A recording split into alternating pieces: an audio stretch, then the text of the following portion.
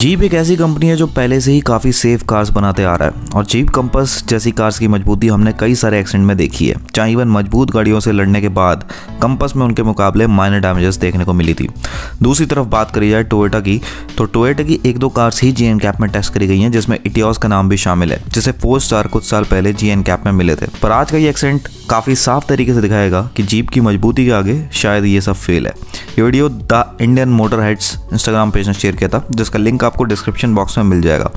तो इस एक्सीडेंट में एज पर डिटेल्स एक इंटरसेक्शन के पास टोयोटा एटियोस और जीप कंपस की टक्कर हो गई। जीप कंपस को यहाँ देख लगता है कि ये एक माइनर एक्सीडेंट रहा होगा, जिसमें बम्पर पर कुछ हल्के स्क्रैचेस देखने को मिलता है। पर जैसे ही आप इटियोस पर नज़र डालते हैं तो समझ आता है कि ये काफ़ी मेजर एक्सीडेंट रहा। इटियोस में यहाँ फ्रंट से मेजर डैमेजेस हैं, जिसमें bumper bonnet radiator safety bar तक भी डैमेजेस दिखाई देती हैं।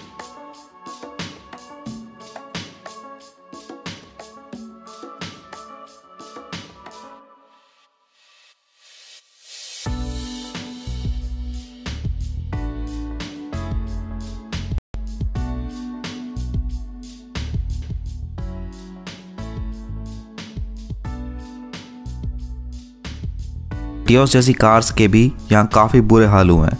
हालाँकि पिलर्स इंटैक्ट दिखाई देते हैं टियोस में भी। पर दूसरी तरफ़ कंपास की ये मजबूती वाकई हैरान करती है, जहाँ बम्पर पर बस कुछ माइनर स्क्रैचेस आए हैं।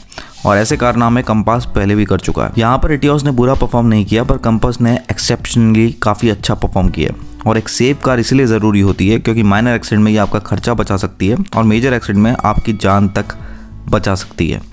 बाकी टोयोटा ने जब से मारुति की कार्स को रीबैच करके बेचना शुरू किया है बिल्ड क्वालिटी को लेकर लोग तब से कॉन्फिडेंट नहीं है स्पेशली ग्लैंडर जैसी कार्स के साथ। आपका इस एक्सीडेंट के बारे में क्या सोचना है? कमेंट्स में ज़रूर बताइएगा। चलता हूँ मैं, मिलूँगा आपसे जल्द ही एक नए वीडियो के साथ। Till the time this me signing off Jai Hind